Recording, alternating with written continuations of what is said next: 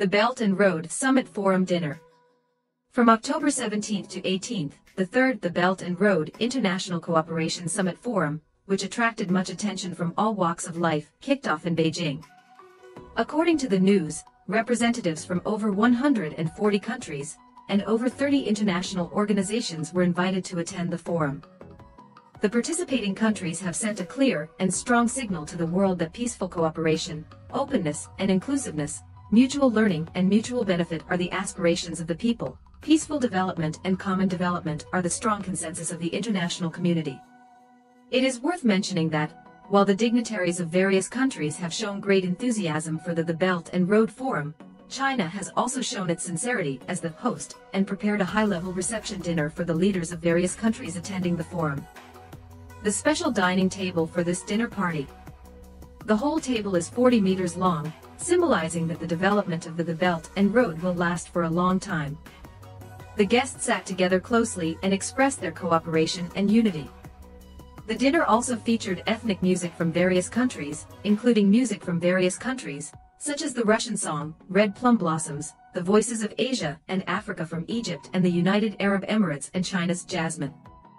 The table design from left to right reflects the historical and cultural architectural modeling of China since ancient times, and also displays the exquisite signs and ingenious design of the Silk Road and of the Belt and Road. The image of green grassland represents the concept of cooperation and development among countries to protect the Earth's environment, while the long table extends from east to west, symbolizing the business cooperation path of ancient Chinese Silk Road ancestors from east to west. The central region mainly shows the construction and development of the China-EU economic belt, such as China-EU trains, aid facilities, and new energy cooperation, which comprehensively presents the direction of economic cooperation of the, the Belt and Road in various countries. The last part is designed in blue, representing the maritime Silk Road of the new century. Like constantly sailing cargo ships connecting various cooperating countries, bringing new economic development prospects to people of all countries. Dinner menu. Cold dishes, also known as cold dishes, can be said to be the starting dish in Western cuisine. There are eight cold dishes in this menu, including family portrait, scallion beef, Beijing roast duck, assorted fresh vegetables, ice pot sticker, crab roe braised wheat, swan cake, and pictorial loquat. Why is a family photo the first dish? There is a particular emphasis on it. As a traditional and famous dish, the family photo originated from the Qin dynasty. It is a unique treatment of various seafood, meat, and vegetables, and then cooked into a pot, symbolizing family reunion. Shallot beef and mixed fresh vegetables may seem ordinary, but they actually have a certain purpose. Cows in China are a symbol of diligence and a spirit of practicality. In addition, foreigners are also fond of eating beef, so it has both meaning and can meet the taste of customers. Assorted fresh vegetables are a mixture of various vegetables, which looks more beautiful and also reflects our abundant products.